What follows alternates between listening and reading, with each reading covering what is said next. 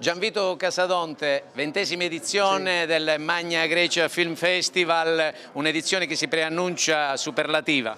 Una buona edizione, una, un grande festival anche questa ventesima edizione con uh, grandi nomi che arriveranno in Calabria, arriveranno a Catanzaro e mi danno la gioia e la soddisfazione di vedere la mia città, la mia regione protagonista.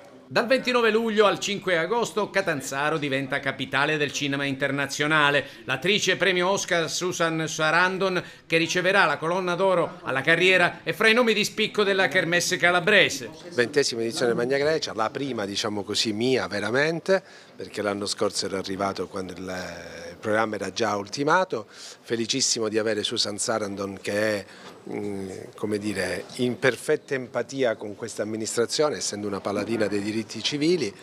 All'organizzatore ho fatto una sola richiesta, eh, e cioè di fare quello che voleva.